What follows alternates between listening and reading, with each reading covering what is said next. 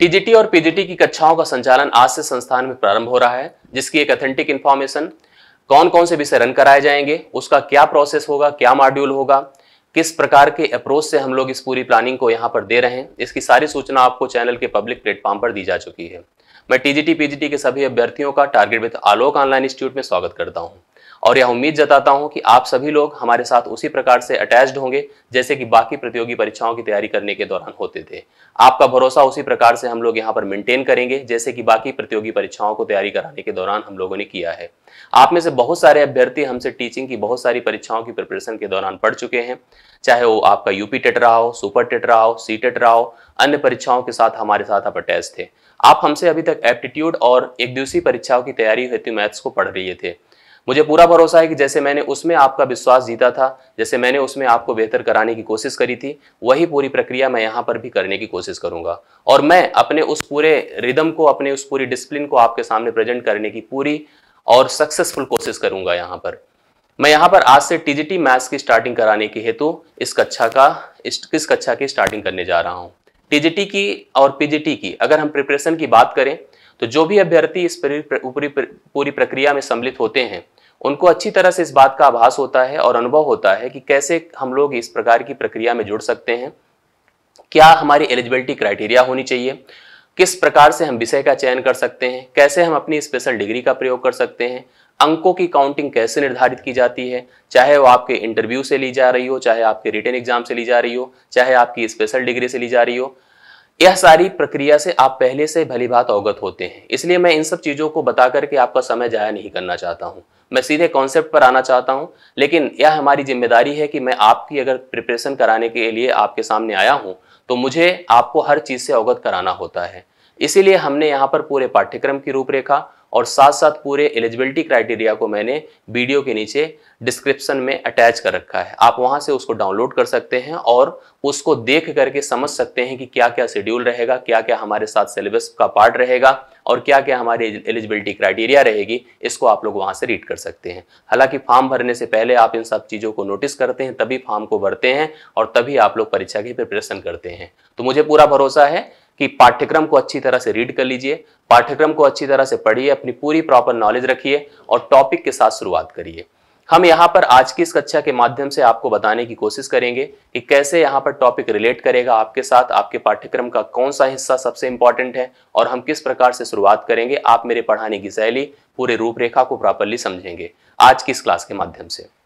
मैंने मैथ आपको जो है एप्टीट्यूड ज्योमेट्री मेंसुरेशन मतलब एडवांस एल्जेब्रा इन सारी चीज़ों को प्रॉपरली पढ़ाया है। आपने तमाम और एक दूसरी परीक्षाओं की तैयारी की है। उस दौरान आपने जो मैथ्स पढ़ी है, अगर उस मैथ्स की बात की जाए तो हम लोग स्नातक स्तर की परीक्षा में उसका 40 से 50 प्रतिशत यूज़ करते हैं। हालाँकि इसमें प्रश्नों का लेबल तरीका, इसके पूछे जाने की स्थिति पूरी तरह से अलग होती है। तो मैं इन सब चीज़ों को रिलेट करने की कोशिश करूँगा और आपको बताने की पूरी कोशिश करूँगा कि आप कैसे इन सब चीज़ों से डिफरेंट अनुभव कर पाएँगे। हम यहाँ पर एक एप्टीट्यूड टाइप की मैथ्स नहीं पढ़ रहे हैं, इसको आप लोग को ध्यान में रखना होगा। यहाँ पर की जो मैथ्स है, वो पूरी तरह से आईटी लेवल या डिफेंस लेवल की मैथ्स मतलब ट्वेल्थ लेवल की मैथ्स से रिलेट करती हुई होती है। आप पाठ्यक्रम को देख करके समझ सकते हैं और सीख सकते हैं। तो जब हम लोग उस प्रकार की मैथ्स, जो कि ट्वेल्थ लेवल की, या हम कह सकते हैं कि आपकी इस परीक्षा की तैयारी हेतु डेवलप की गई है, उस मैथ को पढ़ने के दौरान हमने इस बात का अनुभव किया। वैसे आप किसी भी मैथ की बात करें कि कोई भी मैथ अगर आप लोग पढ़ते हैं तो मैथ पढ़ने के लिए जो सबसे इंपॉर्टेंट टर्म होता है, या हम कह सकते हैं मैथ की जो शुरुआत होती है मैथ का जो फाउंडेशन बना हुआ है, वह पूरी तरह से फ़ंक्शन पर बना हुआ है। फ़ंक्शन को हम लोग यहाँ पर एक और नाम दे सकते हैं, इसको हम मेथड कहते हैं। इसको हम रूल कहते हैं। आपको पता है अच्छी तरह से कि मैथ का सारा अप्रोच मेथड और रूल पर ही डिपेंडेंट होता है। मैथ के डिफरेंट डिफरेंट पहलुओं को पढ़ने के लिए हमें अलग अलग प्रकार के रूल्स को ही डिस्क्राइब करना पड़ता है, समझना पड़ता है। इस प्रकार के इस रूल की एनालिसिस करने के दौरान हमको ये समझ में आता है कि ये रूल एक किसी एक रिलेशन को एक्सप्लेन करता है। मतलब दो हमारे पास अलग अलग कलेक्शन है, उन कलेक्शन के बीच क्या रिलेशन है? उस रिलेशन को एक्सप्लेन करने का काम कौन करता है? फ़ंक्शन करता है। तो रिलेशन के लिए भी आपको ध्यान में रखना होगा कि मेरे पास कम से कम दो डोमेन होने चाहिए।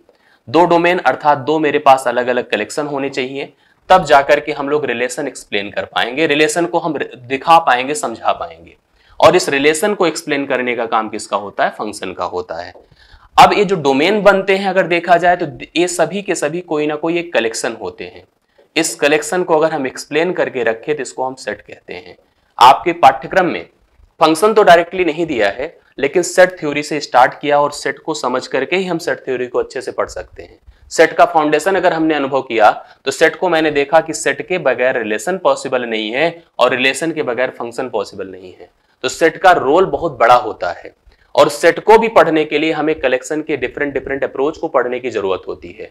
जैसे कि हमें पूरे नंबर्स के बारे में इंफॉर्मेशन चाहिए, संख्याओं के बारे में, संख्याओं के क्लासिफिकेशन को समझने की ज़रूरत होती है, पूरे अल्फाबेटिकल स्वरूप को पढ़ने की ज़रूरत होती है। साथ साथ हमें कुछ ना कुछ ऐसे भी जो एक्स्ट्रा नॉलेज होती है, जो कि नेचर की, जो कि पॉलिटिकल मैनर की, बहुत सारी ऐसे टर्म्स एंड टर्मोलॉजीज होती हैं जिसको हमें पढ़ने की आवश्यकता होती है। तो आपको सेट तो मैं स्टार्ट करूँगा, पढ़ाना।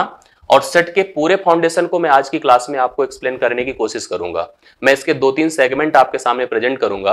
आप यहाँ से आज शुरू कर सकते हैं, लेकिन अंत यहाँ पर नहीं होगा। इसके लिए और कक्षाओं को आपको फेस करना पड़ेगा और कक्षाओं को आपको वेट करना पड़ेगा। लेकिन मैं पूरा भरोसा दिलाता हूँ। अगर आपने एक भी दिन सेट नहीं पढ़ा है, आपको बिल्कुल से भी नहीं समझ में आया आज तक, आज की इस कक्षा के बाद आप ऐसा नहीं कहेंगे। मुझे पूरा भरोसा है इस बात का कि मैं ऐसा कर पाऊँगा आपके लिए और मुझे पूरा भरोसा है, जैसे मैं अभी तक फेस करता आया हूँ, कि आप लोग आज सेट सीख पाएँगे। एक्चुअल में आप सेट आज सीख पाएँगे। इस बात का मैं आपको कमिटमेंट करता हूँ कि अगर शुरू से लेकर एंड तक वीडियो को देखा आपने प्रॉपरली सेट को पढ़ने के लिए, जैसे मैंने कहा नंबर्स की आवश्यकता होती है नंबर की क्लासिफिकेशन की आवश्यकता होती है। मैंने इस लेक्चर को कई बार पब्लिक प्लेटफॉर्म पर लिया है। मैं इसकी भी एक बेहतरीन वीडियो मैं डिस्क्रिप्शन में अटैच करवा दे रहा हूँ। अगर आप नंबर्स और नंबर के क्लासिफिकेशन को, क्योंकि सेट को पढ़ने के दौरान मुझे उसकी आवश्यकता होनी ही होनी है। मतलब यह डन है या श्योर है कि सेट बगैर नंबर के क्लासिफिकेशन के अच्छे से नहीं सीखा जा सकता है। इसलिए आपको मैं यहाँ पर एक थोड़ा सा सजेस्ट करूँगा। कि आप डिस्क्रिप्शन में जाइए नंबर सिस्टम के उस वीडियो को भी डाउनलोड करिए नोट करिए, उससे भी नंबर के क्लासिफिकेशन को अच्छी तरह से पढ़िए तो आप सेट पढ़ने के दौरान बड़ी ही सहज फील करेंगे, बहुत अच्छा लगेगा आपको। मैं आज जो शुरू करने जा रहा हूँ, जो टॉपिक का नाम आपको पता है, मैंने अभी बता भी दिया उसका नाम है सेट थ्योरी, जिसको हम हिंदी में कहते हैं समुच्चय सिद्धांत।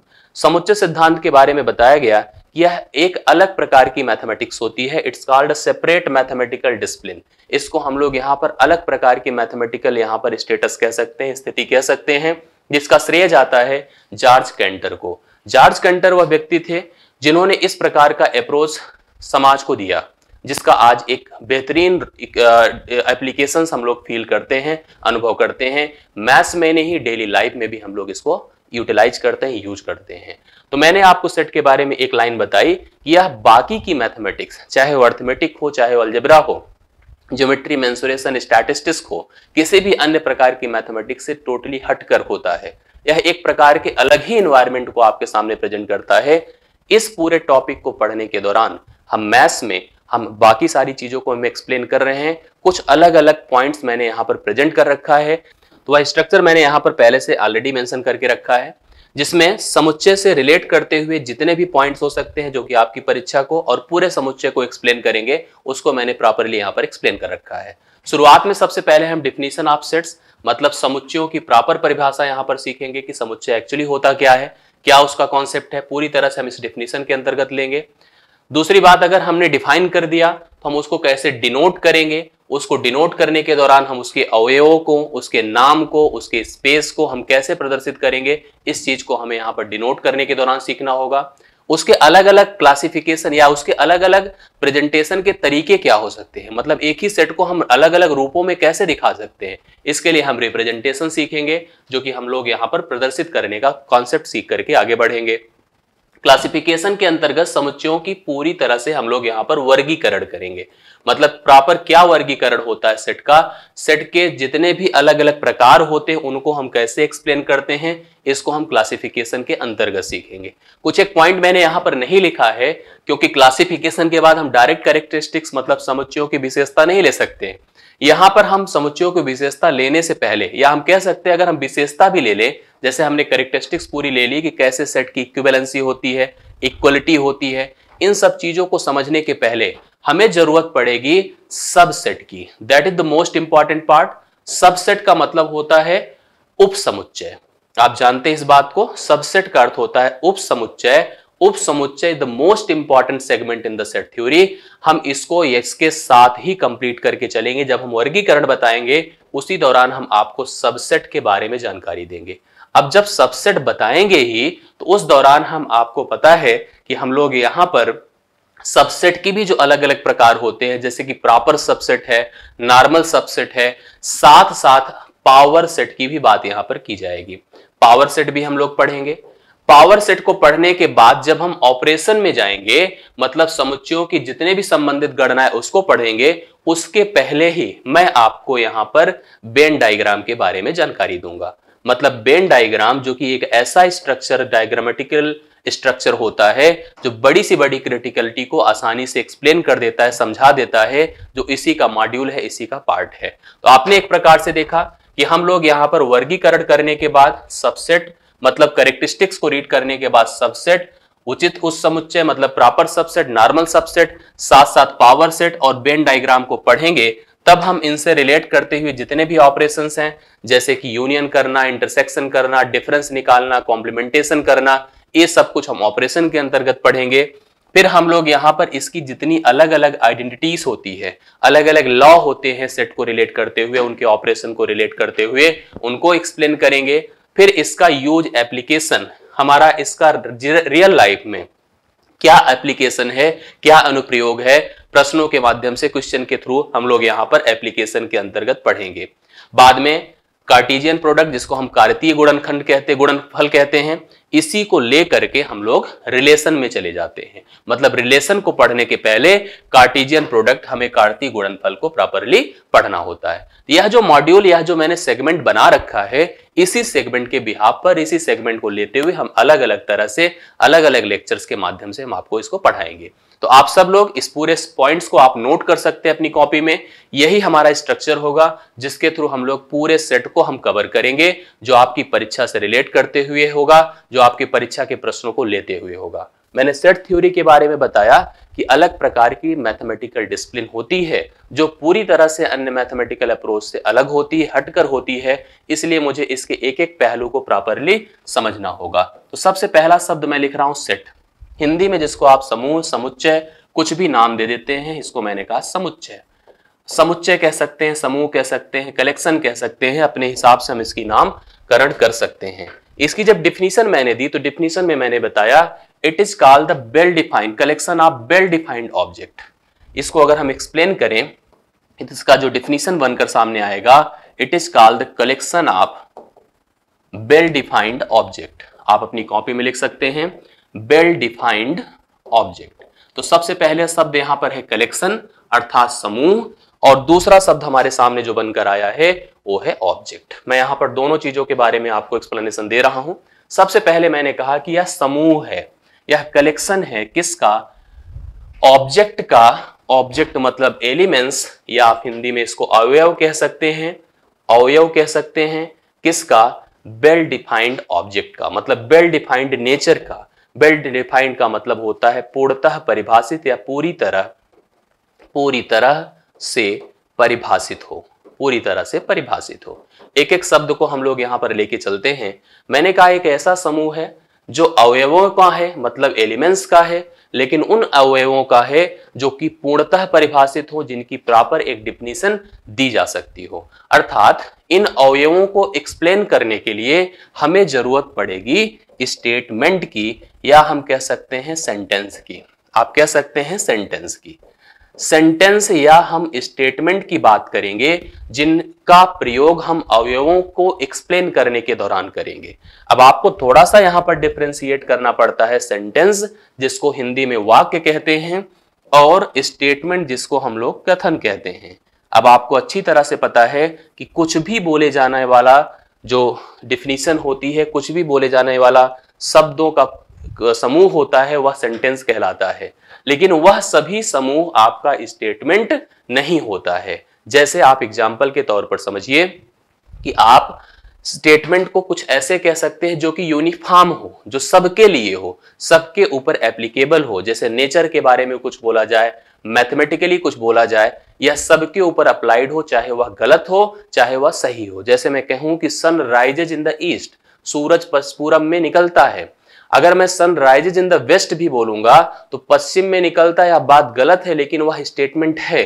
कैसा स्टेटमेंट है? गलत स्टेटमेंट है। बाकी सारी चीज़ें, जैसे मैं कुछ बोल रहा हूँ, आप कुछ बोलिए, अन्य कोई कुछ बोले पर्टिकुलर किसी के बारे में बोलने के दौरान जो भी वाक्यों का समूह होता है उसको सेंटेंस कहते हैं। और अगर मान लीजिए वह यूनिफॉर्म हो, सबके ऊपर अप्लाइड हो, जैसे मान लीजिए प्रधानमंत्री जी ने कोई घोषणा कर दी तो वह सबके ऊपर अप्लाइड है। नेचुरल कोई चीज़ हो रही है हम सबके साथ तो वह सबके ऊपर अप्लाइड है। कोई चीज़ किसी के लिए हानिकारक है जैसे स्मोकिंग करना हानिकारक है तो सबके लिए हानिकारक है तो वह स्टेटमेंट है। तो इस तरह को हम सबसे पहले कैटेगराइज कर लेते हैं। यह स्टेटमेंट की मदद से ही इस कलेक्शन को एक्सप्लेन किया जाता है, इसलिए मैं यहाँ पर बता देना ज़रूरी समझ रहा था। मुझे लगा कि यहाँ पर जो ये ऑब्जेक्ट है, जिनको हम अवयव कह रहे हैं, ये पूर्णतः डिफाइंड होने चाहिए, इसको समझने की सबसे पहले आवश्यकता है। मैंने जैसे कुछ एग्ज़ाम्पल लिए। मान लीजिए मैंने कहा, आपको ध्यान दीजिएगा। मैंने कहा collection of collection of students students in a class. कक्षा के सभी छात्रों का समूह, कक्षा के सभी छात्रों का समूह आप बिल्कुल नोटिस कर सकते हैं, वह एक प्रकार का सेंटेंस होगा और वह सेंटेंस एक प्रकार का सेट जनरेट करेगा। मतलब जो हमारे पास एलिमेंट्स लिए गए हैं, उन एलिमेंट्स का सही उपयोग किया गया है। अगर मान लीजिए मैंने कहा कलेक्शन आप, ध्यान दीजिएगा, मैंने कहा कलेक्शन आप each natural number each natural number जिसको हम हिंदी में प्राकृतिक संख्या कहते हैं। प्राकृतिक संख्या, मैंने कहा less than five less than five मतलब पाँच से छोटी सभी प्राकृतिक संख्याओं का समूह तो वह भी एक प्रकार का कलेक्शन बना और डिफाइंड कलेक्शन बना। अब मैंने जैसे एक दूसरा सेंटेंस लिया, मैंने कहा collection of collection of each honest person each honest person in the city honest person in the city मतलब शहर के सभी ईमानदार लोगों का कलेक्शन अब जब ये शब्द हमारे सामने बनकर आया, ईमानदार, बेईमान अच्छा बुरा, मीठा, खट्टा, तीखा, ये शब्द जो बनकर आया, जो किसी भी एक वैल्यू की क्वालिटी एक्सप्लेन करता है, वह सेट नहीं होगा. वह सेट नहीं होगा, अर्थात यह पूर्णतः डिफाइंड नहीं हो रहा है. अगर मान लीजिए एक समूह है या शहर में से मैंने आपको एक सर्वे करने को कहा कि आप जाइए, इस चौराहे पर खड़े सभी लोगों में से बोलिए कि जो जो ईमानदार हैं, वो वो हमारे समूह में आ जाएँ। अब आप बताइए कि कौन कहेगा कि मैं बेईमान हूँ?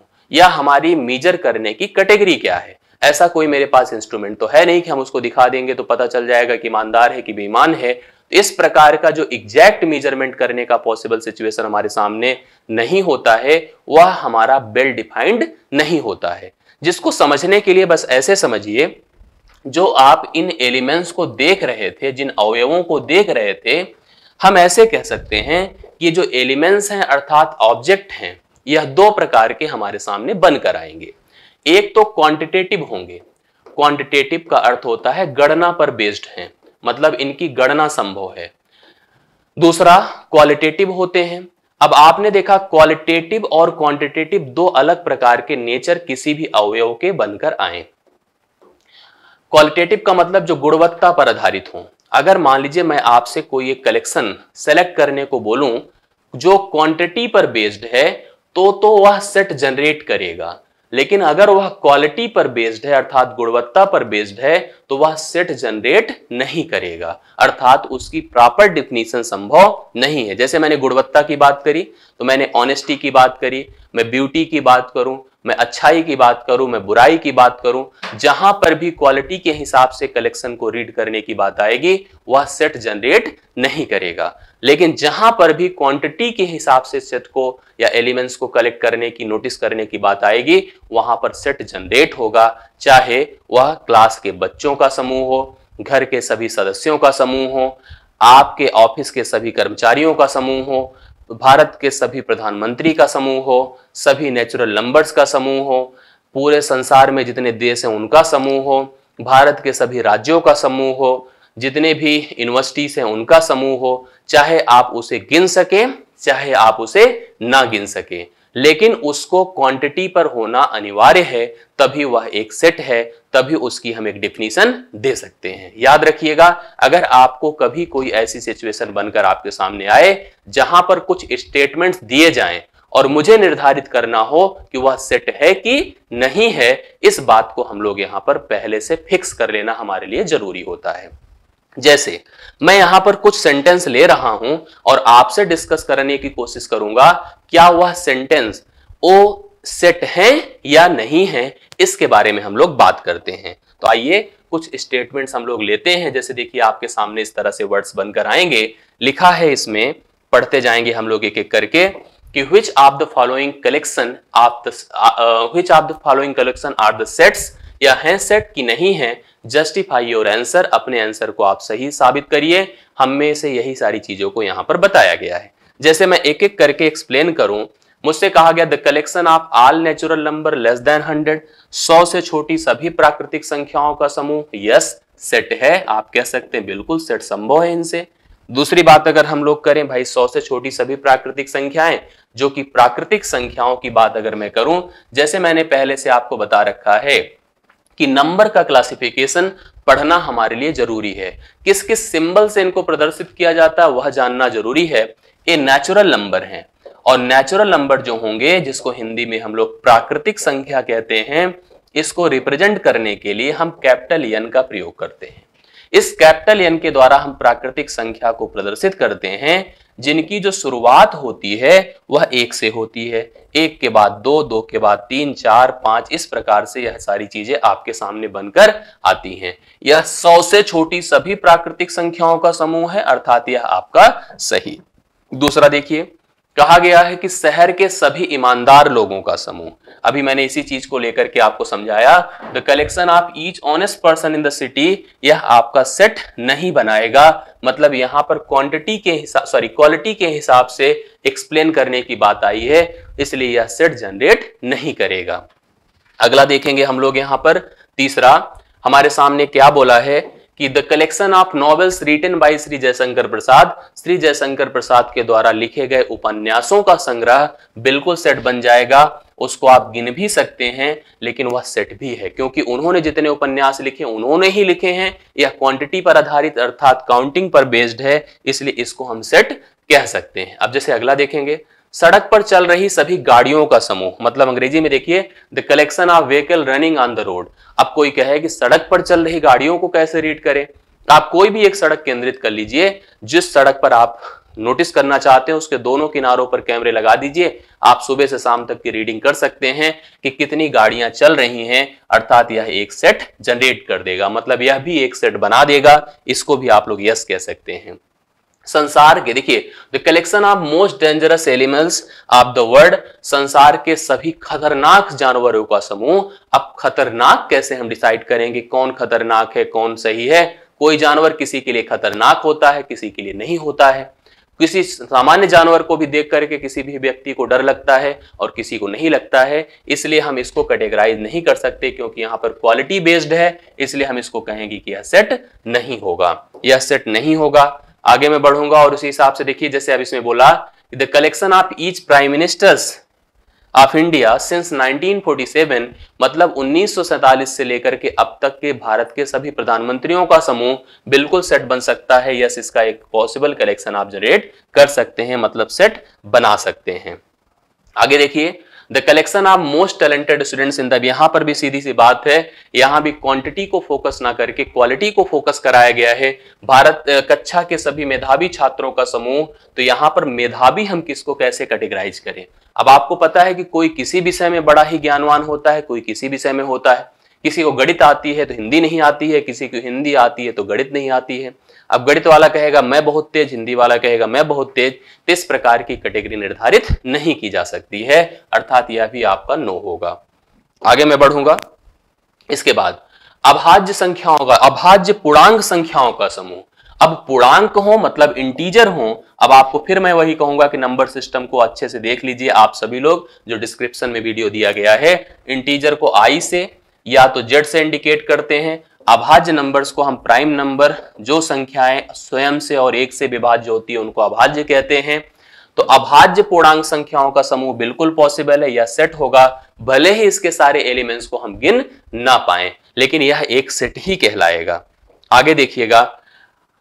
एक से छोटी सभी प्राकृतिक संख्याओं का समूह। अब आप कहोगे, सर, एक जो है, क्या लिखा है? The collection of natural number less than one मतलब एक से छोटी सभी प्राकृतिक संख्याओं का समूह, ऐसे सोचकर अगर चले तो एक से छोटी कोई प्राकृतिक संख्या नहीं होती है। अर्थात इस सेट में कोई एलिमेंट्स आएगा नहीं। लेकिन क्योंकि क्वांटिटी बेस्ड है, इसलिए यह भी एक सेट है। भले ही इसके पास कोई एलिमेंट नहीं है, इसको हम कैसे प्रेजेंट करेंगे वो मैं आपको बताऊँगा, लेकिन यह भी एक सेट बना रहा है। आगे बढ़ता हूँ और लास्ट स्टेटमेंट हम लोग इसका नोटिस करेंगे। The collection of each family members in my family मैंने पहले से बता दिया। मेरे परिवार के सभी सदस्यों का समूह यस पॉसिबल है। इसको लेकर के हम लोग एक सेट बना सकते हैं। इसको लेकर एक सेट बना सकते हैं। तो मैंने अभी केवल सेट की डिफिनीशन दी आपको और मैंने बताया कि किसे हम समुच्चय कहते हैं, किसे हम समुच्चय नहीं कहते हैं। यह डिपेंड करता है क्वांटिटी और क्वालिटी पर एलिमेंट्स के। मतलब अवयवों को गिन सकना अवयवों की करेक्टरिस्टिक्स निर्धारित करना इन पर डिपेंड करता है। जहाँ पर क्वालिटी की बात आएगी, वहाँ सेट नहीं संभव है। जहाँ क्वांटिटी की बात आएगी, वहाँ पर यस सेट संभव है। आगे मैं बढ़ूँगा। अब मैंने कहा, जो मैंने डिफिनीशन या एग्जाम्पल्स अलग अलग दिए, जिनको लेकर के आप एक कलेक्शन जनरेट कर सकते हैं। हो सकता है आपके कलेक्शन में एलिमेंट्स गिने जा सकते हो हो सकता है आपके कलेक्शन के एलिमेंट्स ना गिने जा सकते हो, या आपके कलेक्शन में कोई एलिमेंट्स ही ना हो। लेकिन कलेक्शन है तो सेट है। कलेक्शन के एलिमेंट्स की प्रॉपर डिफिनीशन है तो सेट है। अगर ऐसा है तो हम कैसे किसी सेट को डिनोट करते हैं? टू डिनोट अ सेट ध्यान दीजिएगा। टू डिनोट अ सेट पूरी बात को समझने की कोशिश करिएगा। अगर मुझे किसी सेट को डिनोट करना है तो उसके लिए हम लोग यहाँ पर use capital letter capital letters of English alphabet हम अंग्रेज़ी के बड़े लेटर्स का प्रयोग करते हैं। जैसे मैं आपको दिखा रहा हूँ कौन कौन से लेटर्स यूज़ करे जाएँगे? आप ए यूज़ कर सकते हैं बी यूज़ कर सकते हैं सी कर सकते हैं डी कर सकते हैं सो ऑन अंग्रेज़ी के आप बड़े लेटर्स का प्रयोग करेंगे किसी सेट को डिनोट करने के लिए। सेट के नाम का निर्धारण करने के लिए सेट का मतलब संग्रह और संग्रह को केंद्रित कराया जाएगा। जैसे आप किसी की, मान लीजिए आपका घर है तो घर को, घर की आइडेंटिटी क्या है? घर की पहचान क्या है? घर के बाहर लगा नेम प्लेट जिसके, जिसमें घर के ओनर का नाम लिखा रहता है। घर का भी एक टाइटल आप लिखवा देते हैं, वही सेट का नाम है। जैसे आप क्या हैं? अपने घर के एक अवयव हैं, एलिमेंट्स हैं। आपकी पहचान क्या है? आपके फादर हैं, आप कहेंगे कोई अगर सड़क पे मिलेगा, पूछा जाएगा तो बताएँगे, उनका लड़का है। मतलब उनकी लड़की है या उनका लड़का है, अर्थात आपकी पहचान वो सेट है। उस कलेक्शन का जो मेन मालिक है, जिसके नाम से आप जाने जा रहे हैं, आप उसके थ्रू पहचाने जाएँगे। मतलब सेट को डिनोट करने के लिए, नामकरण करने के लिए सेट का, हम अंग्रेज़ी के कैपिटल लेटर्स का प्रयोग करते हैं। दूसरी चीज़, जो सेट के अवयव हैं, जैसे मैंने कहा, घर हमारा है तो घर के मालिक कौन हुए? मेरे ग्रैंडफादर या फादर हुए, या मेरी मदर हुई ग्रैंड मदर हुई, वो घर के ओनर हुए। अब उनके हम सभी पार्ट हैं मतलब हम सभी एलिमेंट्स हैं। तो मैंने कहा to denote to denote elements of a set elements of a set मतलब सेट के समुच्चय के अवयवों को अवयवों को प्रदर्शित करने के लिए use small letters of the English alphabet use small letters आप इंग्लिश अल्फ़ाबेट अंग्रेज़ी के छोटे अक्षरों का प्रयोग किया जाएगा। अब आप देखो कैसे कैसे प्रयोग किया जाएगा। जैसे हम प्रयोग करेंगे स्मॉल ए का मतलब हम कैसे किसका किसका प्रयोग करेंगे? ए का बी का सी का डी का ई का मतलब हम स्मॉल लेटर्स का प्रयोग करते हैं सेट के अवयवों को निर्देशित करने के लिए, दिखाने के लिए। मतलब सेट का नामकरण करने के लिए कैपिटल लेटर्स और सेट के एलिमेंट्स अर्थात अवयवों को दिखाने के लिए हम अंग्रेज़ी के छोटे अक्षरों का प्रयोग करते हैं। अब इन अवयवों को रखते कहाँ पर हैं? ध्यान दीजिएगा। To store the elements of set मतलब सेट के अवयवों को रखने के लिए। ध्यान देना अगला लाइन अगली statement to store the elements of the set elements of a set set के अवयवों को रखने के लिए यूज़ करली ब्रेकेट्स यूज़ करली ब्रेकेट्स जिसको हिंदी में हम लोग कहते हैं मझला कोष्ठक। हिंदी में हम लोग कहते हैं मझले कोष्ठक का प्रयोग करेंगे। हम मझले कोष्ठक का प्रयोग करेंगे। मझला कोष्ठक, देखिए, आपको जनरली तीन कोष्ठक दिए जाते हैं। एक छोटा दिया जाता है, एक मझला दिया जाता है, एक बड़ा दिया जाता है। ये जो छोटा और बड़ा होता है, यह किसी रेंज को निर्धारित करता है। रेंज मतलब जैसे कि यहाँ से यहाँ तक की वैल्यू जिसके बीच अनंत एलिमेंट्स आ सकते हैं, उनको निर्धारित करता है। जबकि जो मझला होता है, यह एलिमेंट्स अर्थात अवयवों को केंद्रित करता है। इसलिए सेट के एलिमेंट्स को स्टोर करने के लिए हम करली ब्रेकेट्स अर्थात मझले कोष्ठक का प्रयोग करेंगे। अब हम अगर देखें तो तीन बातें मैंने यहाँ पर बताई कि सेट का नामकरण क्या होगा। जैसे मैंने आपसे कहा कि आप अपने परिवार का ही एग्ज़ाम्पल लेके चल सकते हैं। तो जो परिवार के ओनर है, वही सेट का नाम है। आप समझिए। आप सब हम, आपके भाई बहन मतलब आप ऐसे समझिए, आप अपने परिवार की अगर बात करें तो आपके फादर सेट के मेन नेम है मतलब मेन नाम सेट का आपके फादर हो गए। आपकी मदर, आपके भाई, बहन, ये सब सेट के एलिमेंट्स हो गए तो कैपिटल लेटर से सेट का नाम दिखाया स्मॉल लेटर से जो सेट के एलिमेंट्स है, उनको दिखाया। अब इन स्मॉल लेटर्स को हम रखेंगे कहाँ? पूरा यह प्रदर्शन करेंगे कैसे? इसके लिए हम लोग क्या करते हैं? हम लोग करली ब्रेकेट्स का प्रयोग करते हैं। जैसे एक एग्ज़ाम्पल की बात करें, मैंने एक सेट लिया। Collection of vowels from English alphabet हम इंग्लिश के, अगर हम वॉवेल्स का कलेक्शन लें वॉवेल्स का कलेक्शन लें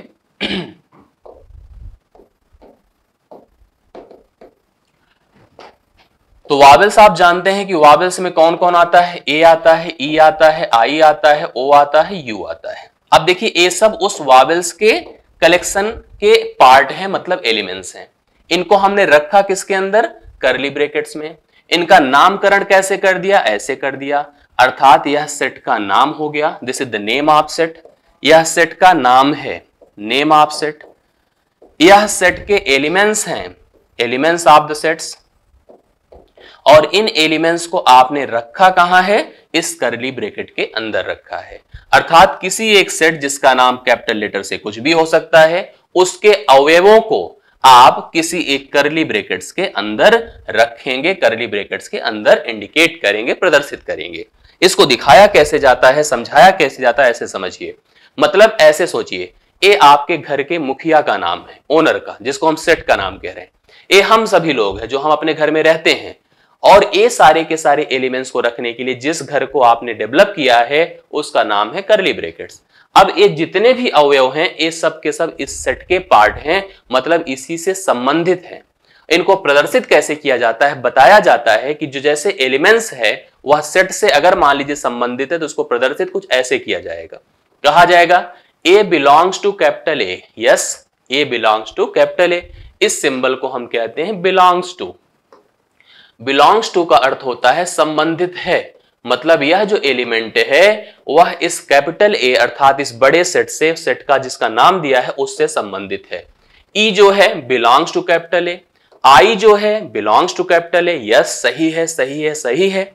मैंने कहा z belongs to capital A तो आप कहोगे, सर, नहीं जेड तो हमारा पार्ट ही नहीं अब जैसे मान लीजिए मैं आ गया तो मैं तो आपके परिवार का सदस्य नहीं हूँ तो मैं आपके परिवार से संबंधित नहीं हूँ। तो इसलिए हमको आप कहेंगे कि u does not belongs to this set आप इसको चाहे तो ऐसे लिख सकते हैं और z does not belongs to capital A आप ऐसा अगर लिख दें तो आप सही कह रहे हैं। मतलब यह जो एलिमेंट जेड है, जो हमारा पार्ट नहीं है, वह इनसे संबंधित नहीं है। तो आप कह सकते हैं, जैसे आई की बात होगी ओ की बात होगी इस तरह से कोई भी एलिमेंट्स जो कि उसका पार्ट है, वो तो संबंधित है। जो अदर एलिमेंट्स है, वो सब के सब संबंधित नहीं है। अगर उनको सही सही दिखाना है तो आप does not belongs to this set इस सेट का पार्ट नहीं है।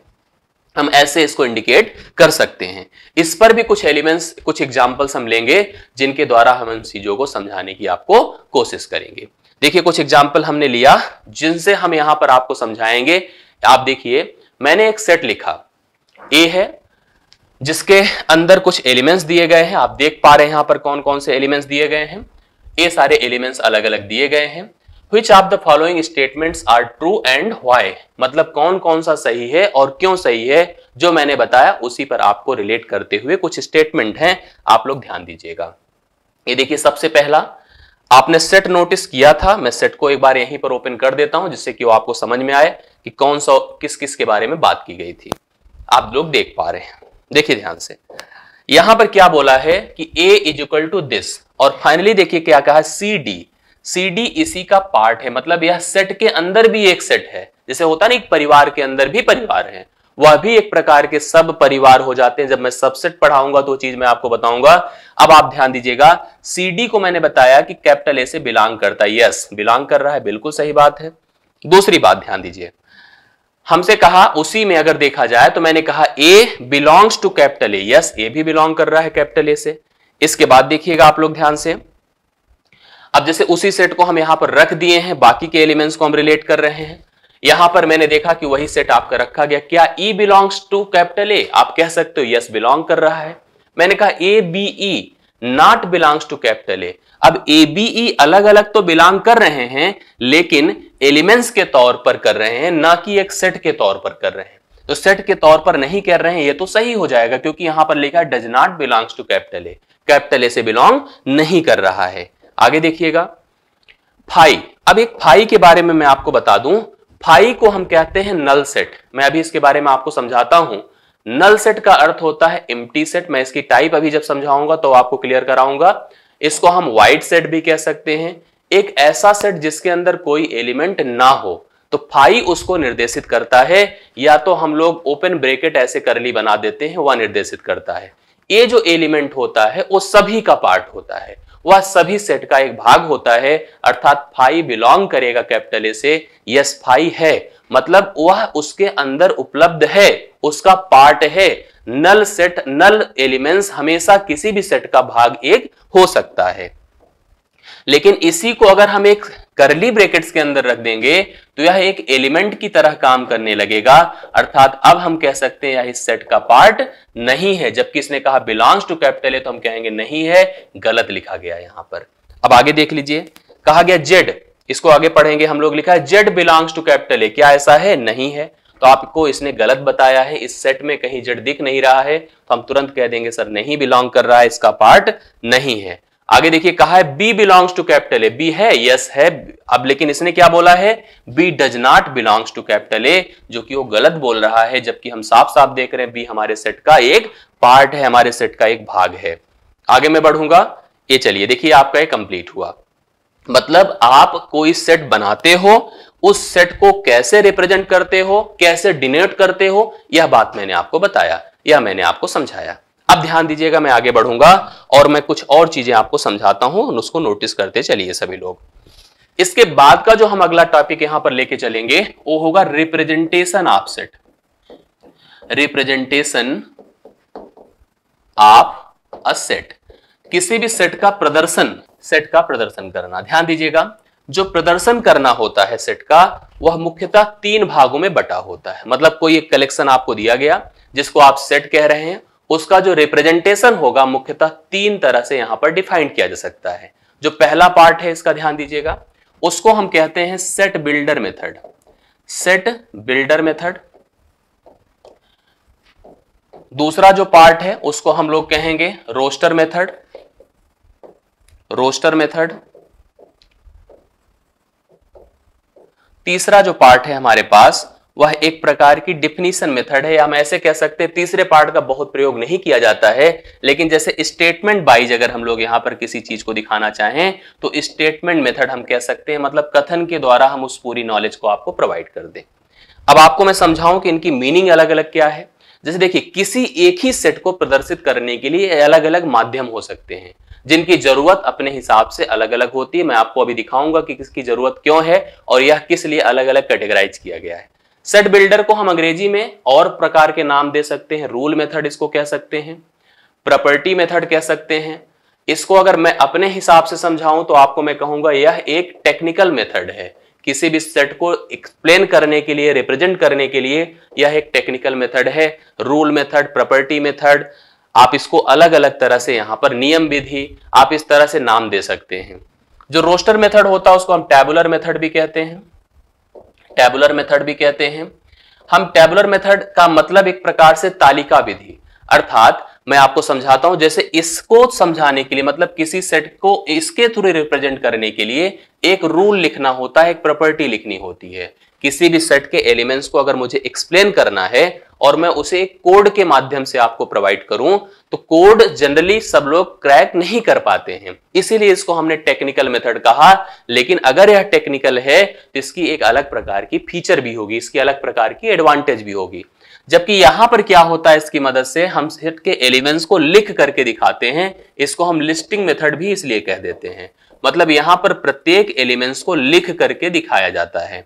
हर एलिमेंट्स को जब आप लिख लिख करके दिखाते हैं तो बहुत टेक्निकल नहीं होता है। नॉर्मल पर्सन भी उसको रीड कर सकता है, इसलिए इसको नॉन टेक्निकल मेथड भी हम लोग यहाँ पर एक नाम अपने हिसाब से दे सकते हैं। स्टेटमेंट मेथड का मतलब यहाँ पर जो कलेक्शन रहता है, उसकी एक जनरल रीडिंग लिख करके दिखाई जाती है, जिसको हम स्टेटमेंट के माध्यम से समझ पाते हैं। मैं एक चीज़ों को प्रॉपरली आपको समझाता हूँ। जैसे मान लीजिए मैंने एक कलेक्शन लिया। एक कलेक्शन लिया, मैंने कहा कलेक्शन आप। Collection of natural number less than ten. Collection of natural number less than ten. दस से छोटी सभी प्राकृतिक संख्याओं का समूह। ये आपकी प्राकृतिक संख्याएँ हैं। दस से छोटी सभी प्राकृतिक संख्याओं का समूह। ये आपको स्टेटमेंट के द्वारा इस सेट को एक्सप्लेन कर दिया गया है। जो तीसरा मेथड था, वो यही था। कि आप किसी एक स्टेटमेंट के माध्यम से किसी एक सेट को प्रदर्शित कर दीजिए। आप एक कलेक्शन को ही बता रहे हैं हमको, एक स्टेटमेंट की मदद से बता रहे हैं। मैंने इस सेट को प्रदर्शित करने के लिए मैंने सबसे पहले रोस्टर मेथड अप्लाई करने की कोशिश करी। मैंने सोचा, चलो रोस्टर मेथड से हम इस चीज़ को समझाएँ लोगों को। रोस्टर मेथड में हमें करना क्या होगा? इस सेट के सभी एलिमेंट्स को एक एक लिख करके दिखा देना होगा तो उसको हम रोस्टर मेथड कहेंगे। अब आप सबसे पहले सेट का नामकरण करिए। मान लीजिए सेट का नाम मैंने कहा ए है। एलिमेंट्स को रखते कहाँ पर है? करली ब्रेकेट्स में। क्या क्या एलिमेंट्स है बताइए? एक है, दो है, तीन होगा, चार होगा, पाँच होगा, छह होगा, सात होगा, आठ होगा और नौ होगा। क्यों ऐसा एक से नौ तक ही क्यों? क्योंकि दस से छोटी सभी प्राकृतिक संख्याएँ। एक से ही क्यों शुरू? क्योंकि प्राकृतिक संख्याओं की शुरुआत कहाँ से होती है? एक से होती है। तो मैंने सभी एलिमेंट्स को लिख करके दिखा दिया। तो यह कलेक्शन किसका हो गया? प्राकृतिक संख्याओं का, जो कि दस से छोटी है। अब आप प्रॉब्लम समझिए। अगर मान लीजिए मैं आपसे कहता कि कलेक्शन आप natural number less than hundred तो आप कहते हैं कि सर लिख तो सकता हूँ, लेकिन बहुत लंबा होगा। मैं कहूँगा थाउज़ेंड तो आप कहो सर फिर भी मैं लिख सकता हूँ, लेकिन इतना लंबा होगा कि हमको लिखने में बड़ी समस्या होगी। अगर एक हज़ार, दस हज़ार, इस तरह से संख्याओं को मुझे दिखाना है तो मैं प्रत्येक संख्या को लिख करके नहीं दिखा सकता हूँ। उसके लिए मुझे सार्ट फॉर्म अप्लाई करना पड़ेगा डॉट डॉट डॉट लगा के छोड़ देना होगा। लेकिन वो बहुत ऑथेंटिक नहीं माना जाता है। इसके लिए हमको क्या करना होता है? हमें रूल बनाना पड़ता है। जो रूल हम ऐसा बना दें, जिसको सभी लोग पढ़ें और पढ़ करके इस पूरी चीज़ की पहचान कर पाए कि प्रॉपरली दिया गया गया है। इसका भी नाम मान लीजिए मैं ए ही रख देता हूँ। रूल बनाया कैसे जाता समझिए।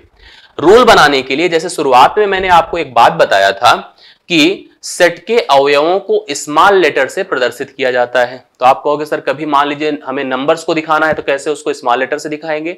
हमने कहा कि हाँ बिल्कुल दिखा सकते हैं, सभी ग्रुप को दिखाने के लिए हम स्मॉल लेटर का ही प्रयोग करते हैं। सभी कलेक्शंस को दिखाने के लिए, चाहे वो नंबर से रिलेट करते हुए हो, चाहे अल्फ़ाबेट से हो, चाहे जिससे भी हो, सभी को दिखाने के लिए हमें स्मॉल लेटर्स का ही प्रयोग करना होता है। मान लीजिए मैंने उसको कहा कि वह यक्स है। क्या है यक्स है? मैंने स्मॉल लेटर से प्रयोग कर दिया। मैंने लिखा यहाँ पर यक्स सच दैट यक्स अब यहाँ पर आपने देखा कि इसको हम अंग्रेज़ी में कहते हैं सच दैट सच दैट हमने यहाँ पर इसको कहा। हिंदी में हम इसको कहते हैं यक्स एक ऐसा यक्स है। यक्स एक ऐसा यक्स है। यक्स एक ऐसा यक्स है जो बिलोंग करता है नेचुरल नंबर से। किससे बिलोंग करता है? नेचुरल नंबर प्राकृतिक संख्या से। बट इसका जो मान है, वह लेस देन ये लेस देन का सिंबल है। क्या है? दस है। लेस देन दस है। ध्यान दीजिए यक्स एक ऐसा सेट है एक्स एक ऐसा समूह है कलेक्शन है, जिसको हम ऊपर स्टिकर लगा के दिखा रहे हैं, जो नेचुरल नंबर से ही बिलोंग करेगा। इसको देखिए, जो नेचुरल से संबंधित है प्राकृतिक संख्याओं से बट वह दस से क्या है? छोटा है मतलब वो दस के बड़ा नहीं हो सकता, दस के ऊपर नहीं जा सकता है। अर्थात मैं इसको ऐसे भी चाहता तो लिख सकता था। मैं चाहता तो लिख देता x is less or equal to nine ध्यान दीजिए, जो लिखा है x is less than ten मतलब दस से छोटा या मैं लिख देता कि less or equal to nine मतलब नौ या नौ से छोटा, नौ या नौ से छोटा तो दोनों चीज़ हो सकता था, चाहे आप यह लिख देते, तब भी सही होता, यह भी लिख देते, तब भी सही होता, अपने हिसाब से हम इन चीज़ों की रीडिंग कर सकते थे, समझ सकते थे। आपने देखा कि किसी एक स्टेटमेंट को जो कलेक्शन को प्रदर्शित कर रहा था उसी स्टेटमेंट को रोस्टर से लिखने का तरीका, उसी स्टेटमेंट को सेट बिल्डर से लिखने का तरीका और ज़रूरत क्यों पड़ी? मैंने देखा कि अब बहुत कम ही एलिमेंट्स को होल्ड कर सकता है, इसलिए मुझे यहाँ पर सेट बिल्डर की आवश्यकता पड़ी। यह बात आपने समझा। ध्यान दीजिएगा। आगे मैं बढ़ता हूँ। अब मैं इसको थोड़ा सा मैं आपको क्वेश्चंस के माध्यम से मैं समझाता हूँ, जिससे कि आप रिलेट कर सको और अपने आप को इन्वॉल्व कर सको इस कॉन्सेप्ट में, इस टॉपिक में। तो मैं कुछ प्रश्न ले रहा हूँ, जिन प्रश्नों को आपको सेट बिल्डर से रोस्टर रोस्टर से सेट बिल्डर मेथड में लिखना पड़ेगा। जैसे देखिए, कहा describe the following sets in the roster form हम जो हमारे पास दिए गए सेट हैं, उनको हमें तालिका विधि में प्रदर्शित करना है। अब एक एक सेट को हम लोग लेते हैं और उसको लिखने की कोशिश करते हैं। आप भी यहाँ पर प्रयास करिए, जिससे कि इन सब चीज़ों को आप रिलेट कर सकें और समझ सकें। सबसे पहला स्टेटमेंट हम यहाँ पर ले रहे हैं x is such that x is the letter before e in the English alphabet English alphabet में ई के पहले आने वाले सभी लेटर्स की बात करिए। तो उसके लिए सेट का नाम मान लीजिए मैंने ए रखा। तो आपको पता है एक ई के पहले क्या क्या आता है? ए बी सी डी आता है। यही आपका आंसर हो जाएगा, जो कि अंग्रेज़ी के लेटर्स हैं और ई के पहले के लेटर्स हैं। अर्थात हम इसको ए बी सी डी कह सकते हैं। दूसरा क्वेश्चन देखेंगे हम लोग। दूसरे में देखिए लिखा है x belongs to natural number x किससे संबंधित होना चाहिए? नेचुरल से, लेकिन यक्स स्क्वायर आपका 36 से छोटा हो। यक्स स्क्वायर आपका क्या हो? 36 मतलब उस एलिमेंट्स जिसको आप लेने जा रहे हैं, उसका वर्ग जो हो, वो 36 से छोटा हो। नेचुरल की शुरुआत होती कहाँ से? एक से। एक का वर्ग क्या होता है? भाई, अगर हमने यक्स लिया एक तो यक्स स्क्वायर क्या होगा? एक ही होगा। मैंने दो लिया तो दो का वर्ग क्या होगा? चार। तीन लिया तो तीन का वर्ग क्या होगा? नौ। चार लिया तो चार का वर्ग सोलह। पाँच लिया तो पाँच का वर्ग पच्चीस। छह लिया तो छह का वर्ग छत्तीस। अब सोचो, छत्तीस ले नहीं सकते। अगर यहीं पे लेस आर इक्वल टू छत्तीस होता, तब हम इसको भी होल्ड कर सकते थे, लेकिन यह तो है नहीं। हम क्या करेंगे? हम इसको भी नहीं कर सकते हैं। अर्थात हमारे एलिमेंट्स यही हो जाएँगे कौन कौन से? एक से लेकर पाँच तक। एक, दो, तीन, चार, पाँच। एक से लेकर पाँच तक के एलिमेंट्स ही हमारे पार्ट कहलाएँगे, हमारे भाग कहलाएँगे, जिनके सभी वर्ग छह से छोटे हैं। मतलब सॉरी छत्तीस से छोटे हैं मतलब वो छत्तीस के बिलो वाले संख्याएँ हैं जो कि जिनका वर्ग 36 का 36 से बिलो होता है, नीचे होता है। तो आप एक से लेकर पाँच तक के अवयवों को कंसिडर कर सकते हैं, ले सकते हैं। अगला देखिएगा। इसकी बात करते हैं हम लोग यहाँ पर? ये देखिए अलग अलग दिए गए हैं, हम एक एक करके समझते हैं इसमें। यहाँ पर इसको देखिए, लिखा है, अगर हम लोग यहाँ पर इसको पढ़ें। X belongs to natural number प्राकृतिक संख्याओं से मैच करता है।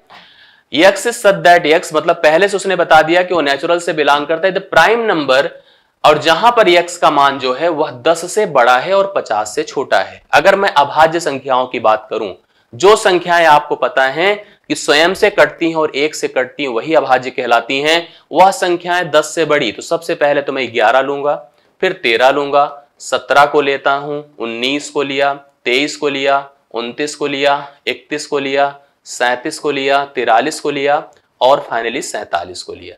यह संख्याएँ हैं, मेरे हिसाब से और कुछ छूटा नहीं है। आप लोग एक बार मैच करा लीजिए। यह वह संख्याएँ हैं जो 10 से बड़ी हैं और 50 से छोटी हैं साथ साथ प्राइम हैं, अर्थात अभाज्य हैं। तो आपने इस सेट बिल्डर को रोस्टर में प्रदर्शित कर दिया। आपकी परीक्षा में पूछा जाता है तो आप इनका नॉलेज रखिए कि अभाज्य संख्याएँ क्या हैं, कितनी होती हैं, इसके इसके बीच में। यह सारी बातें मैंने अपनी उस क्लास में बताया, आप वहाँ पर देख सकते हैं। अगला देखेंगे हम लोग यहाँ पर। अगला क्वेश्चन इसी में देखिए, दिया हुआ है। जो है क्या? लिखा है x belongs to natural number x such that x is equal to two n आपका जो एलिमेंट है एक्चुअली यक्स है। और यक्स बराबर क्या है? टू एन है। लेकिन यन क्या है? पहले उसको निर्धारित करना ज़रूरी है। यन नेचुरल नंबर से बिलोंग करता है। प्राकृतिक संख्या से बिलोंग करता है। लेकिन हमारा एलिमेंट ध्यान रखना यक्स है। और यक्स किससे संबंधित है? यन से संबंधित है। आपको पहले यन ले, यक्स यन लेना होगा यन को निर्धारित करना होगा। तो यन प्राकृतिक संख्या से बिलोंग करता है तो शुरुआत हम लोग एक से करें। दो भी होगा तीन भी होगा चार भी होगा इसमें कोई रेंज नहीं बताया कि कहाँ से कहाँ तक होगा। अर्थात हम लिख सकते हैं सबसे पहला एलिमेंट दो फिर चार फिर छह फिर आठ, क्योंकि टू एन अर्थात दो से गुड़ा होता जाएगा। मतलब आप कह सकते हैं कि सम संख्याओं का समूह होगा, या आप इसका प्रदर्शन कुछ ऐसे कर सकते हैं। दो, चार छ आठ, दस, बारह, चौदह, सोलह, इस प्रकार से इसको इनफाइनाइट तक हम लोग यहाँ पर छोड़ देते हैं बना करके। यह इसका प्रोसेस हो गया। आप समझ लिए होंगे कि क्या सिस्टम यहाँ पर बनकर आएगा। अगला देखिएगा। कहा x belongs to R real number से बिलोंग कर रहा है। और वो भी लिखा है कि यक्स जो हो, वह ग्रेटर देन यक्स हो। यक्स ग्रेटर देन अब कोई एलिमेंट क्या अपने से बड़ा हो सकता है? नहीं होता है। तो इसको हम लोग सिंपली कह देंगे कि यह केवल फाई होगा और वह फाई ही यहाँ पर आंसर इसका कहलाएगा। और उसको प्रदर्शित करने का मैं प्रोसेस आपको बताऊँगा। यह एक प्रकार का नल सेट बनाएगा। नल सेट को प्रदर्शित किया जाता है या तो ओपन ब्रैकेट से या तो फाई से। अर्थात इसका अगर कभी हमको सेट बिल्डर करना हो हम इसको लिख सकते हैं या ऐसे लिख सकते हैं। मैं इसको अभी थोड़ी देर में आपको एक्सप्लेन करूँगा तो ज़्यादा आपको समझ में आएगा। अगला देखिए इसी में, छठवां नंबर समझते हैं। लिखा क्या है इसको पढ़िए। अगर हम देखें x the prime number which is a divisor मतलब एक तरह का भाजक है। किसका? आप 60 50 के सभी अभाज्य भाजकों की बात किया है। पचास के सभी अभाज्य भाजकों सॉरी साठ के सभी अभाज्य भाजकों की बात किया है। अब 60 को कौन कौन संख्याएँ काट सकती है? पहले उसको निर्धारित करिए, फिर हम लोग यहाँ पर अभाज्य भाजकों की बात करेंगे कि कौन कौन सी संख्या अभाज्य होंगी। सबसे पहले किसी संख्या को काटने की बात किया जाए तो वह संख्या स्वयं से कटती है और एक से कटती है। दो भाजक किसी संख्या के फिक्स होते हैं। एक साठ बार कटेगा, दो तीस बार कटेगा तीन बीस बार कटेगा, चार पंद्रह बार कटेगा छ दस बार कटेगा, पाँच बारह बार सॉरी पाँच बारह बार कटेगा, फिर जो है आपके पास क्या आया, दस छ जो है दस बार कटेगा। अब तो कोई बचा नहीं। तो भाजक क्या क्या हो गए? एक, दो, तीन, चार, पाँच छ दस, बारह, पंद्रह, बीस, तीस, साठ स्वयं इसमें से अभाज्य कौन कौन है? एक तो है नहीं। दो है तीन है, पाँच है। दो है, तीन है, पाँच है। बाकी तो मेरे हिसाब से सब भाज्य हैं। तो इसका जो आंसर होगा केवल दो होगा, तीन होगा और पाँच होगा। तो दो, तीन, पाँच यहाँ पर इस प्रश्न का आंसर होगा, जो कि साठ के सभी अभाज्य भाजक हैं, आप लोग इसको नोट कर सकते हैं। आगे बढ़िए। अगला देखिए क्या लिखा x such that x is the two digit number such that the sum of the digits is eight eight मतलब दो अंकों की संख्याएँ हैं। दो अंकों की संख्याएँ, जिसकी शुरुआत आप जानते हो 10 से होती है और कहाँ तक होती है? 99 तक।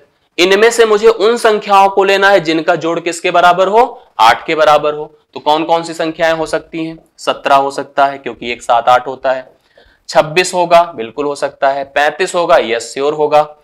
इसके बाद देखिए, आपके सामने चौवालीस होगा, बिल्कुल होगा। तिरपन होगा, बासठ होगा, इकहत्तर होगा। अस्सी होगा। अस्सी होगा फिर आपके सामने लास्ट में कितना हो जाएगा बताइए। अस्सी के बाद आपके पास हम्म अस्सी हो गया फिर आपके पास यहाँ पर बस अस्सी तक आपके सामने बनकर आएगा ना।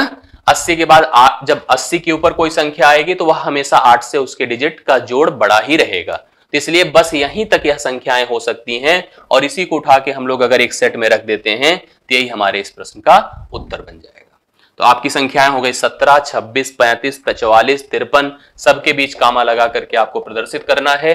तिरपन, बासठ, इकहत्तर और अस्सी हो जाएगा। सही आंसर आपके सामने। ध्यान देना अगला sum. The set of the letters in the word Allahabad एक अगर हमारे पास कोई एक शब्द दिया हो, अगर उनके एलिमेंट्स का प्रयोग करके हमें एक सेट प्रदर्शित करना है तो हमेशा हम उन सारे लेटर्स का प्रयोग करेंगे जो कि उसको बनाने के लिए यूज़ किए गए हैं बट किसी का रिपीटेशन नहीं करेंगे, किसी को बार बार हम प्रयोग में नहीं लाएँगे। जैसे, अगर मैं इसके लिए सेट बनाऊँगा तो सबसे पहले ए को लूँगा यल दो बार है, बस एक बार लूँगा, अगला ये भी नहीं लूँगा यच पहली बार मिल रहा है, लूँगा ए नहीं लेना है बी लेते हैं और लास्ट में डी लेते हैं।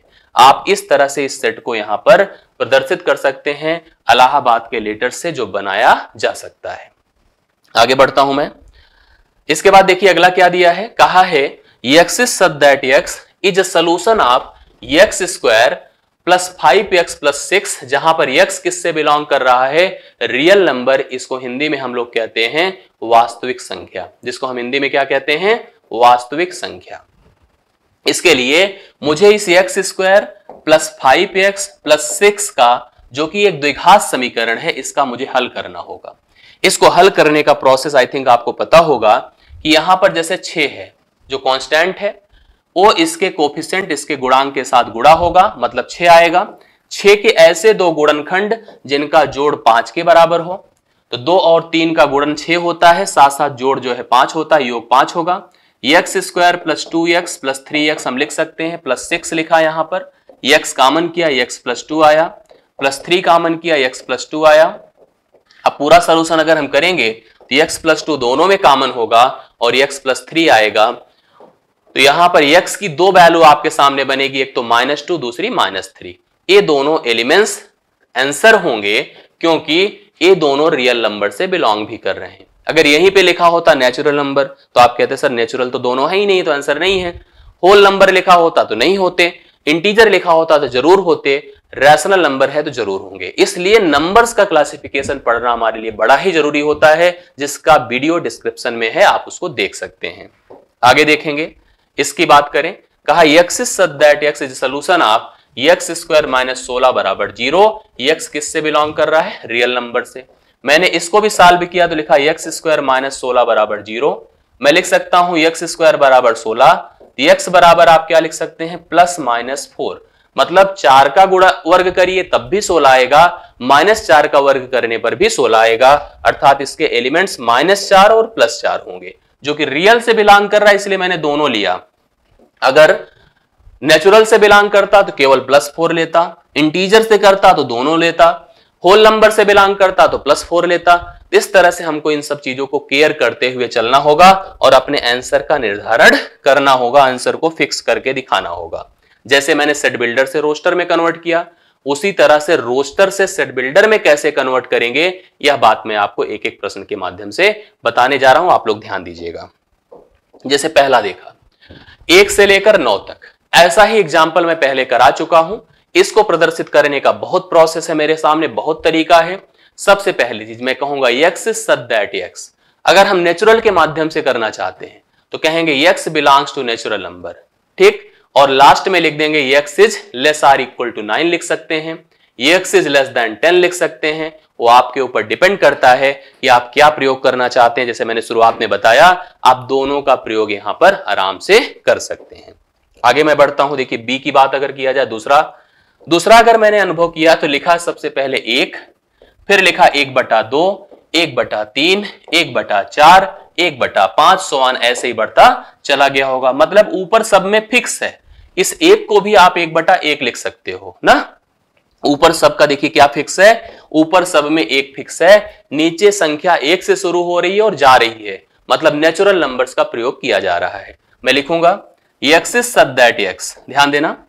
Is equal to one upon n one upon क्या होगा? एन क्योंकि एन हमारे सामने, जहाँ पर मैं बताऊँगा n belongs to natural number n प्राकृतिक संख्याओं का समूह मतलब जो एक, दो, तीन, चार, पाँच, सौ इन्फानाइट तक जा रहे हैं, वो सब की सब प्राकृतिक है। ऊपर मैंने यहाँ पर वन फिक्स कर दिया, इसलिए यहाँ पर इसको आप प्रदर्शित कर सकते हैं।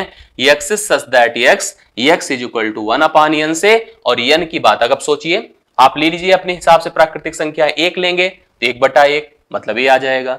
दो लेंगे, एक बटा दो, तीन लेंगे, एक बटा तीन, चार लेंगे, एक बटा चार, इस प्रकार से यहाँ पर बनता चला जाएगा। आगे बढ़िए। इसी तरह का देखिए, एक दूसरा पैटर्न भी हमने लिया। सी में आप लोग देखोगे तो समझ में आएगा आपको।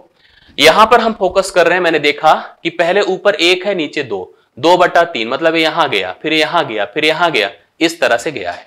मैंने अनुभव किया, जो ऊपर अगर यन है तो नीचे यन प्लस वन है मतलब एक जुड़ गया है।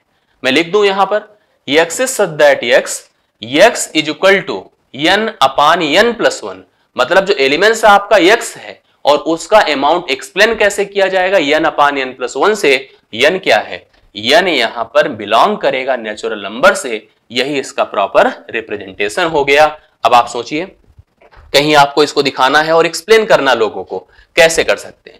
आप कहोगे, सर, मेरा एलिमेंट्स यक्स है, जो डिपेंड करता है यन पर, लेकिन एक्चुअली यक्स है क्या? यक्स जो है, वो है यन अपान यन प्लस वन है। अब समझिए, यही तो आपका सेट है ना? यन के एलिमेंट्स किससे बिलोंग करेंगे? नेचुरल से वन रखूँगा तो one upon one plus one two रखूँगा two upon two plus one three रखूँगा three upon three plus one इस तरह से जो आपके गिवन सेट्स में एलिमेंट्स हैं, वह आपके इस फार्मूले को जस्टिफाई कर रहे हैं, इस फार्मूले के अंतर्गत ही बनकर आ रहे हैं। तो आप इसको नोट कर सकते हैं। अगला देखेंगे। इसी तरह से देखिए डी दिया है, आप समझिए। यहाँ पर दूसरा एक पैटर्न दिया, एक बटा दो है। दो बटा पाँच है, तीन बटा दस है, चार बटा सत्रह है पाँच बटा छब्बीस है। मैं एक चीज़ सोच रहा था, मुझे ऊपर का अगर मैं वर्ग कर दूँ मतलब एक का वर्ग में एक जोड़ दूँ तो दो आएगा। दो के वर्ग में एक जोड़ दो तो पाँच आएगा, तीन के वर्ग में एक जोड़ दो दस आएगा, चार के वर्ग में एक जोड़ दो सत्रह आएगा। अर्थात मैं कह सकता हूँ n upon n square plus one है। N upon n square plus one है सेम टू सेम है मतलब x is that x x is equal to x is equal to n upon n square plus one n belongs to natural number same वही process है same तरीका है। अगर आप समझना चाहते हैं तो उसी तरह से बना के यहाँ पर एक्सप्लेन कर सकते हैं, समझ सकते हैं, जो मैंने यहाँ पर पैटर्न बताया। आई होप आप सभी को क्लियर हुआ होगा। आगे देखिएगा। जैसे इसके बाद हम इसकी बात अगर करें, पांचवा नंबर देखिए ध्यान से। ई इज़ इक्वल टू आपको क्या दिया है? Minus two minus one zero one two देखा जाए तो यहाँ पर शुरुआत माइनस टू से हो रही है और इंड प्लस टू पे हो रही है। अर्थात मैं कह सकता हूँ x is such that x x belongs to I किससे बिलोंग कर? आई से या मैं जेड लिख सकता हूँ यहाँ पर? दोनों लिख सकते हैं। लेकिन मैं कहूँगा जो यक्स है, वह greater or equal to minus two है। मतलब माइनस टू के बराबर है, उससे बड़ा है। लेस आर इक्वल टू क्या है? टू है। आप चाहते तो लिख देते greater than three but less sorry minus three but less than three आप ऐसे भी लिख सकते थे। तो आपकी मर्ज़ी है अगर आप चाहो तो इसको इस तरह से प्रदर्शित कर सकते हो मतलब ऑप्शन देखना एग्ज़ाम में जो मैच कर जाए, उसका हम लोग यहाँ पर प्रयोग कर सकते हैं। आगे मैं बढ़ू। देखिए, यहाँ पर छठा नंबर आपके सामने है बोर्ड पर।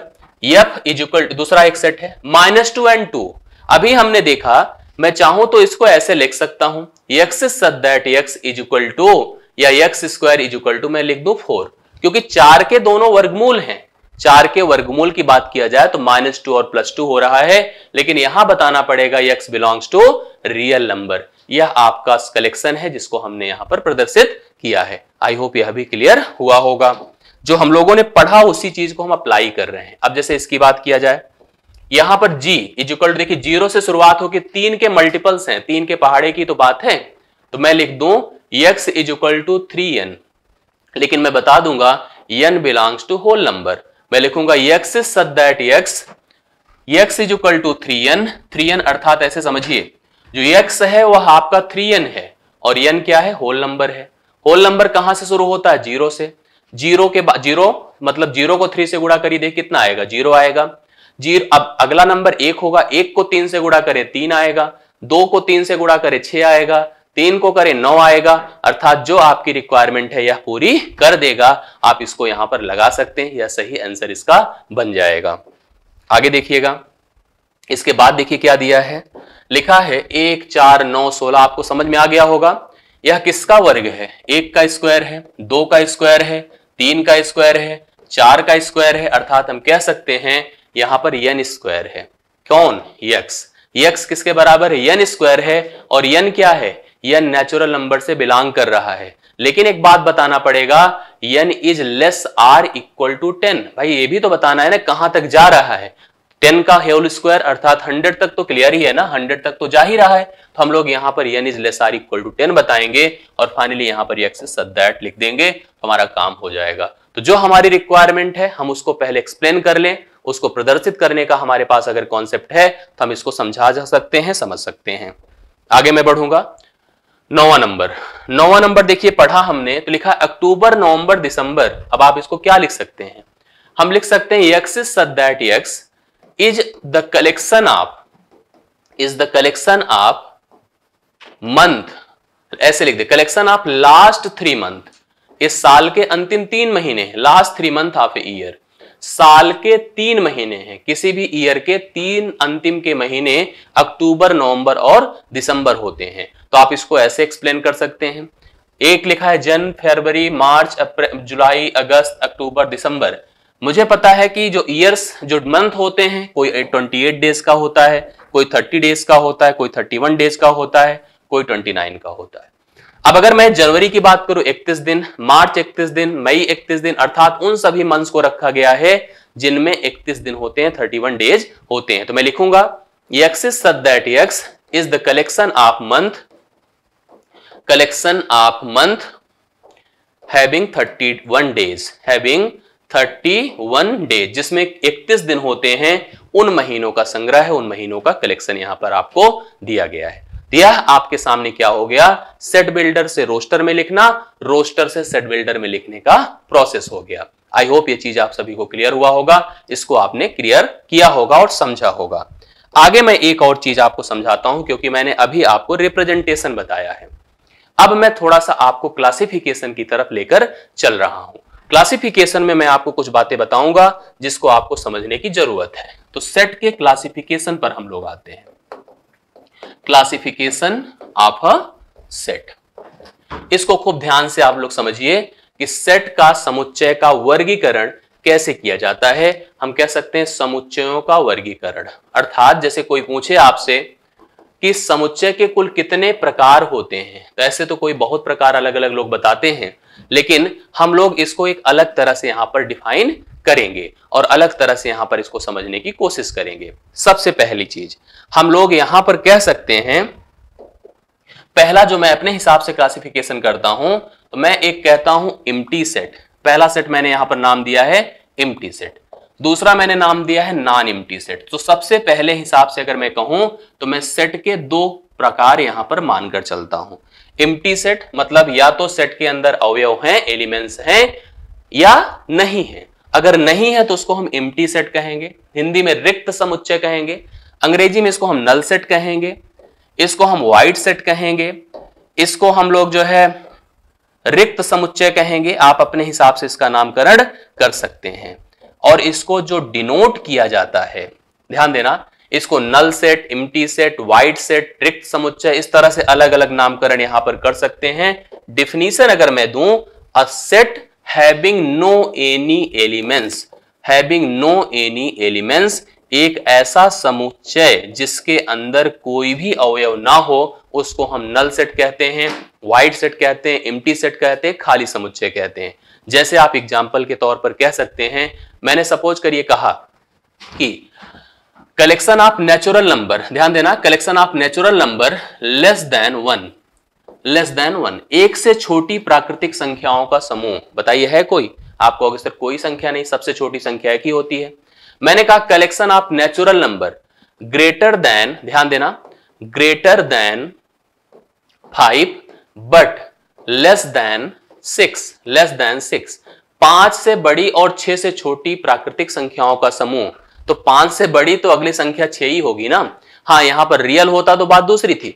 नेचुरल नंबर में पाँच से अगली जो संख्या होगी, वो छह ही होगी, अर्थात इनके बीच कोई संख्या नहीं है। तो यह नल सेट है। इसको जो डिनोट किया जाता है, जैसे मैं अभी थोड़ा सा ज़िक्र भी कर चुका हूँ आप लोगों से डिनोटेड बाई या तो मैं इसको फाई से डिनोट करूँगा, इसको हम फाई कहते हैं, या तो मैं ओपन ब्रैकेट से इसको डिनोट करूँगा। अगर कहीं पर ओपन ब्रैकेट लगा है दैट मीन्स नल सेट या सिंपली फाई लिखा है दैट मीन्स नल सेट तो दोनों को हम लोग यहाँ पर फाई को या नल सेट ओपन ब्रैकेट को हम नल सेट का प्रयोग करके यहाँ पर दिखा सकते हैं। नल सेट को दिखाने के लिए यूज़ कर सकते हैं। दूसरा मैंने कहा, कोई भी सेट जिसके पास having at least one element मतलब कह सकते हैं कम से कम एक अवयव हो, एक अवयव हो, अर्थात हम अंग्रेज़ी में इसको कह सकते हैं containing at least one element at least one element अर्थात किसी एक समुच्चय के पास यदि एक भी एलिमेंट्स है तो वह खाली नहीं है। क्लास है क्लास में अगर एक बच्चा भी बैठ गया तो वह अब खाली क्लास नहीं है मतलब उसमें कोई तो बैठा है। वो भले ही एक एलिमेंट्स है, एक ही है, या हज़ार है, या गिना नहीं जा सकता, लेकिन वह अब खाली नहीं है नल नहीं है। हाँ क्लास में अगर कोई नहीं है तो वह नल क्लास है, खाली क्लास है। अब इसकी डिफिनेशन और इसका क्लासिफिकेशन फिर से कर। अब इसका तो कोई क्लासिफिकेशन पॉसिबल ही नहीं है। जब नल ही है तो क्या क्लासिफिकेशन अब जो नल नहीं है, उसका क्लासिफिकेशन फिर से कर सकते हैं। एक बनेगा फाइनाइट एक बनेगा फाइनाइट दूसरा बनेगा इनफाइनाइट एक बनेगा फाइनाइट दूसरा बनेगा इनफाइनाइट मतलब फाइनाइट का अर्थ होता है काउंटेबल मतलब जिस सेट के एलिमेंट्स को गिना जा सके, उसे हम कहेंगे काउंटेबल अर्थात फाइनाइट और जिसके अवयवों को ना गिना जा सके, उसे हम कहेंगे इनफाइनाइट अर्थात अनकाउंटेबल जैसे एग्ज़ाम्पल के तौर पर, आप मान लीजिए, अपने परिवार के सदस्यों की बात कर रहे हैं तो गिन सकते हैं तो काउंटेबल है। जैसे आप natural number greater than ten बोल रहे हैं तो कभी नहीं गिन सकते हैं अनकाउंटेबल है। ऐसे आप अगर कह दे नेचुरल सॉरी आप कह दे इंटीजर लेस देन फाइव तो इंटीजर चाहे छोटा हो, चाहे बड़ा हो, नहीं गिना सकता। नेचुरल नंबर क्योंकि बाउंडेड होता है, एक से शुरू होता है होल नंबर एक ज़ीरो से शुरू होता है। इसलिए इनको अगर हम ग्रेटर में कहेंगे तो नहीं गिन सकते। लेस में कहेंगे तो गिन सकते हैं। इंटीजर कहीं नहीं गिन सकते, ना तो लेस में, ना तो ग्रेटर में। हाँ अगर हम उसको इंक्लोजर कर दें, जैसे कि greater than something less than something तो गिन सकते हैं। तो जो ऐसा सेट हो जिसके एलिमेंट्स को जैसे मान लीजिए आप ऐसे कह दें कि all the stars in the sky तारों को गिन सकते नहीं। हेयर्स ऑन योर हेड गिन सकते नहीं गिन सकते। तो आपके अनकाउंटेबल है इनफाइनाइट सेट है। लेकिन अगर एलिमेंट्स गिन सकते हैं, जैसे मान लीजिए हमने कहा all the universities in the country गिन सकते हैं। All the words in the book गिन सकते हैं।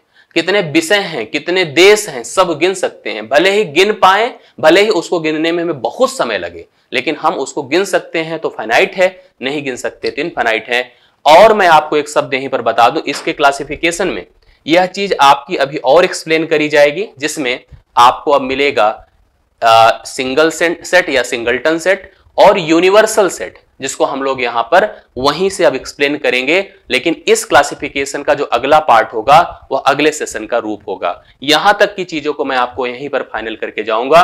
इसमें आप आगे के सेशन में जब जाओगे तो आपको और चीज़ें यहाँ पर रिलेट करते हुए समझ में आएँगी। तो सबसे पहले यहीं पर थोड़ा सा जो फाइनाइट है और इनफाइनाइट है, उसके बारे में एक शब्द मैं और बता दूँ, जिसका नाम है cardinal number of a set cardinal number of a set अर्थात किसी एक समुच्चय के अवयवों की गिनती गिनना किसी भी सेट के बाद अगर हम की कर, करें यहाँ पर तो उस सेट का जो कार्डिनल नंबर होता है उसको डिनोट करने के लिए हम लिखते हैं यनाफ। ए अगर मैंने लिखा n of A that means it is saying that the number of elements in a set number of elements in a set मतलब सेट के सेट के सेट में कितने अवयव हैं? एलिमेंट्स इन अ सेट मतलब समुच्चय में कुल कितने अवयव हैं, उसको कौन बताता है? कार्डिनलिटी बताती है, अर्थात किसी सेट के साथ अगर यन लगा दिया दैट मीन्स वो हमसे पूछ रहा है कि how many elements in the set set में कुल कितने अवयव हैं? यह बात हमसे पूछा जा रहा है। यह तभी पॉसिबल होता है जब सेट फाइनाइट हो।